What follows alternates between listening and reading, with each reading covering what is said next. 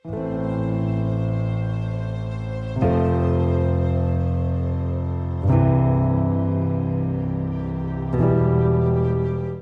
भाई का नाम ओम हरी लाल है और ये भाई की टेस्टमनी अपनी बताते हैं कि तेरह साल पहले इस भाई को जो है पागलपन के दौरे पड़ने शुरू हुए। एकदम से इनका दिमाग फिर गया, घूम गया और पागल हो चुके थे। और ये कहते हैं कि हर समय अपने हाथ से सामान जो भी हाथ में आता था, उसे फेंक कर मारते थे और पागलपन के अटैक के कारण घर से जो है बाहर ही रहते थे, भाग जाते थे। सड़कों पर पागलों की तरह घूमते थे, भिखारियों की तरह। कहते हैं, ना तो कभी नहाए थे जैसे पागल हुए तो नहाना टोटली बंद कर दिया, ना तो नहाते थे। ना तो ठीक से सोते थे, सोते भी नहीं थे, दिन रात जागते रहते थे, सामान जो है उठाकर मारते थे एक दूसरे को और दीवारों में अपने जो है सिर को पटकते थे और घर से भाग जाने के कारण के घर वाले इन्हें रस्सियों से और फ़सल जी सांकलों से, जंजीरों से इस भाई को जकड़ के जो है बाँध कर रखना पड़ता था क्योंकि घर से भाग जाते और सिर्फ़ रोड्स के ऊपर सड़कों पर ही सोते थे और इनकी हालत नहाने जो नहाते नहीं थे इसकी वजह से जो भिखारी होते उनके जैसे इस भाई की हालत हो चुकी थी पूरी तरह से और कितने- बंद हो गया था। तुम्हें याद है कितने साल तुम घर के बाहर रहे? आठ साल। घर के बाहर? हाँ जी। और खाना कौन देता था? जो भी दे देते थे वो खा लेता था। मतलब जो भी रास्ते में भिखारी की तरह कुछ मिल हाँ, जाए? हाँ जी। और कितने साल नहीं नहाए? आ, चार पाँच साल आठ साल ऐसे तो जहाँ कभी पानी मिल गया बरसात में भींज के वो बस और ऐसे फटे कपड़ों में? जी जी। और सड़कों पे रहे? हाँ जी। जंगलों में रहे? हाँ जी। और पसल जी कहते कि जिस किसी की दया होती थी इसके हाथ में कुछ रख देता था बस वही खाता था और सालों तक को, कोई भी नहीं ये नहाया नहीं। आठ साल घर से जो है बाहर रहा और घर वालों ने बहुत ढूंढा और कहते कि उन्होंने इश्तेहार, जो गुमशुदा के इश्तेहार लगा दिए इसकी फ़ोटो के साथ और लगातार आठ साल इस भाई को ढूंढते रहे घर वाले और पसल जी पोस्टर्स के ऊपर भी कहते कि ढाई लाख तक खर्चा कर दिया। लगातार हम अपने बच्चे को ढूंढते रहे, लेकिन नहीं मिला। इनके जो मम्मी डैडी थे, वो पोस्टर्स लगाते थे इसके। मम्मी है इसके? आए डैडी आए कोई? मम्मी डैडी इसके, जो इसके किस जगह का है ये? मध्य प्रदेश का। कौन सा भाई आपका शहर कौन गाँव कौन सा है? जिला देवास ग्राम बालिया तहसील सतवास।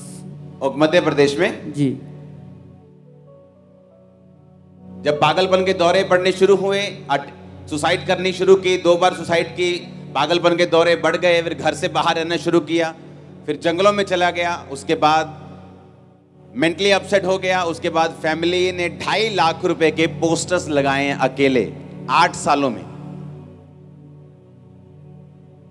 और पसल जी, जब ये आठ साल के बाद मिला जंगलों से, तब भी सेम ऐसी कंडीशन थी सेम इसी तरह से पागल था, भिखारी लग रहा था, पहचान नहीं हो पा रहा था, बाल बढ़ चुके थे, और कहते नाखून बढ़ गए थे, बिल्कुल भी पहचान में नहीं आ रहा था, भिखारी था और कोई सुदबुद नहीं थी।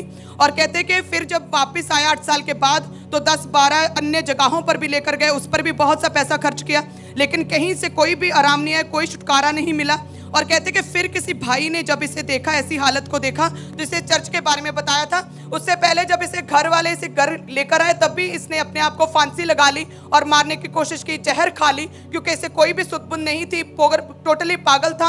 और जैसे किसी ने चर्च के बारे में बताया फ़सल जी, फ़र्स्ट मार्च 2022 को प्रेयर माउंटेन, प्रेयर जो ऑनलाइन मीटिंग होती है वहाँ वो इस भाई ने अपनी फैमिली के साथ घर बैठकर अटेंड की थी प्रार्थना माउंटेन की प्रेयर को, जो आपने स्पेशली प्रार्थना की। और पसी जैसे आपने उस प्रेयर में बोला था कि प्रभु की महिमा के लिए ऑनलाइन व्यूअर्स को परमेश्वर का आत्मा छुएगा फिजिकली मेंटली टच करेगा। और पसी ये भाई कहते, जैसे ही आपने ये वर्ड्स बोले, प्रेयर माउंटेन से एकदम से करंट पूरी बॉडी में फैला, पूरी बॉडी पवित्र आत्मा से भर के उछलने लगा और कहते हैं कि एकदम से मुझे उस उस उस रात तुम क्या क्या बदलाव हुआ तुम्हारी लाइफ में?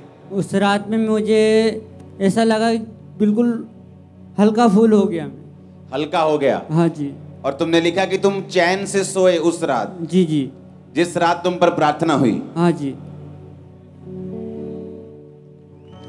और ये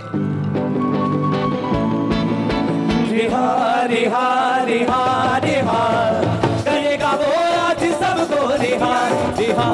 आपके आपके दोस्त लोग आपके मोहल्ला आपका गाँव आपका शहर क्या क्या कहता है जब आप उनको मालूम हुआ कि प्रभु यीशु ने आपको पागलपन से छुटकारा दिया है? बोले कि वो जाति बदल दी ये बदल दिया वो धर्म बदल दिया। उसको बोलो पागल अच्छा था तो वही धर्म में। हाँ। हाँ पागल अच्छा था लेकिन पागलपन से आज़ादी नहीं चाहिए। शैतान झूठा है। सुनो मेरी बात। एक एक है कि किसी को मेंटली अपसेट के दौरे पड़ना, बैठ जाओ। एक है कि मेंटली अपसेट के अटैक होना, फिर वो बढ़ना, फिर वो पागलपन में बदलना, फिर घर से चले जाना। जब घर वाले संभाल नहीं सकते, एक साल, दो साल वो खुला छोड़ देते जब खुला छोड़ दिया, ये बाहर निकला, जब सड़कों पे रहने लगा, फिर घर से निकल गया, फिर दूर कहीं चला गया जंगलों में, भिखारी की तरह रहने लगा, कोई एक रोटी दे दी खाली बारिश में भीग गए, आठ साल अपने घर से बाहर रहा। इसकी फैमिली ने इश्तिहार पोस्टर ढाई लाख रुपए इश्तिहारों और पोस्टर्स पे लगाए। किसने कौन था जिसने बताया था यीशु मसीह के बारे में तुम्हारे घर में? एक भाई आए थे ऐसे सुसमाचार करने के लिए तो मैं मुझे बताया मेरे मम्मी पापा को किसी को पता नहीं है अभी। ओ तो उस उस समय तुमने वो मीटिंग अटेंड किया? जी जी। ओ जीसस ये एक मार्च 2022 की प्रेयर माउंटेन अगर आप प्रेयर देखेंगे तो उसमें स्पेशल प्रेयर हो रही थी जितने जिनको फिजिकली और मेंटली जिनको टच चाहिए परमेश्वर उनको टच कर रहे हैं। और जब वो प्रेयर को रिसीव किया तो उस रात वो चैन से सोया। आज वो बंदा बन के आपके सामने खड़ा है। आजा भाई। रिहा रिहा रिहा नाम क्या है? हरिओम मंडलोई यार बड़े खतरनाक नाम है तुम्हारे। जगह के भी समझ नहीं आ रहा ना तुम्हारा भी। हालेलुया। क्या कहना चाहते हो?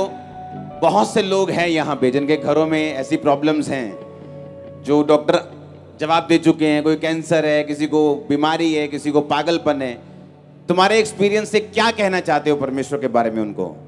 परमेश्वर से बढ़ के और कोई नहीं है जो अच्छे अच्छे को ना नहीं याद ला देता सभी के। मैं इससे इसलिए पूछ रहा हूँ कि आप ये मत समझना कि अभी थोड़ा ठीक हुआ है। ये पूरा ठीक हो चुके हैं। ओ, आमीन, ऊँचा चाहिए चर्च।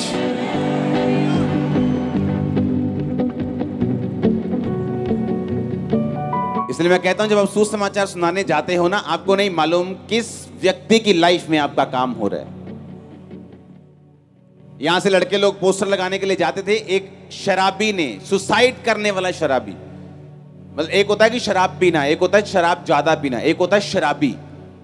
मतलब सुबह भी पीना, दोपहर भी, शाम भी, कमाया शराब।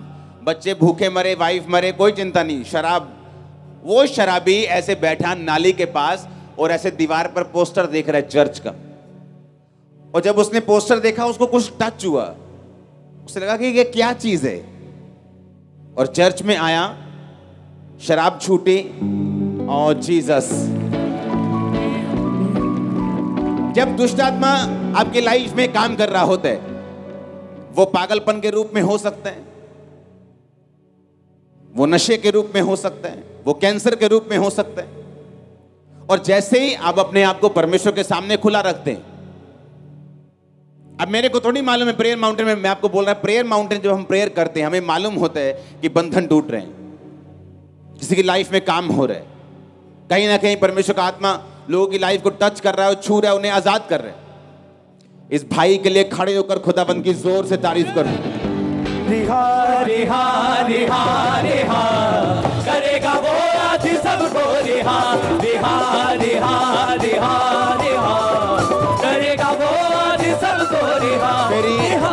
प्रार्थना है, ये इस्तेमाल हो यीशु मसीह के नाम में। हालेलुया।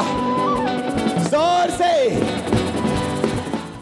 हमारे YouTube चैनल को सब्सक्राइब करें ताकि आप परमेश्वर के गहरे वेदों को जान सकें कि कैसे आप परमेश्वर में बढ़ सकते हैं, कैसे आप दुष्ट आत्माओं से, नशों से, बीमारियों से और वंशों के श्रापों से आज़ाद हो सकते हैं।